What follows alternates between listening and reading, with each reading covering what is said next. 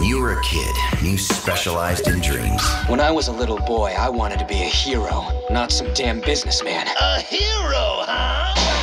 Ridiculous! Now that you're older, does that mean you have to forfeit them? It's beautiful, isn't it? The delicate nature of youth and wide eyed innocence. Maybe your childhood dreams did come true. I'm gonna be the best hunter in the world!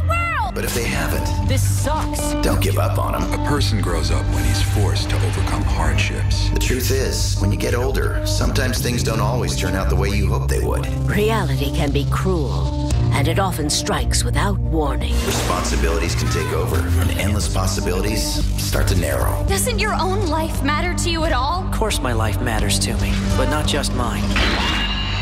Everyone's. So you gotta do what you gotta do. Handle that business. Someday, I'll prove I'm the strongest Saiyan in the universe. Fine. It's never too late to suit up and take the journey to make those dreams a reality. It's all coming back to me now. This is the feeling I've been looking for. Believe in yourself. Create your own destiny. Don't fear failure. It's all as true today as when you were 12. Don't take away my chance to prove what I can do. Now get cracking. Wish me luck.